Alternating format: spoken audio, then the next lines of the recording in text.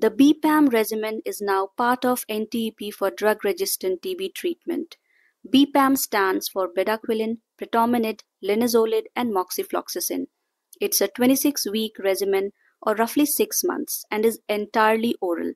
A higher dose of bedaquiline is given daily for the first 2 weeks, then reduced in dose and frequency for the remaining 24 weeks. Other drugs are taken once daily for the full 26 weeks. This regimen must be taken with food, and pyridoxine is added to prevent drug-induced neuropathy. It's indicated for MDR, RR, or pre-XDR TB in patients over 14 years old. Contraindications being resistance to any of the first three drugs or significant liver or heart dysfunction. Importantly, it's not recommended in pregnancy or lactation. This new regimen is a game changer for managing drug resistant TB.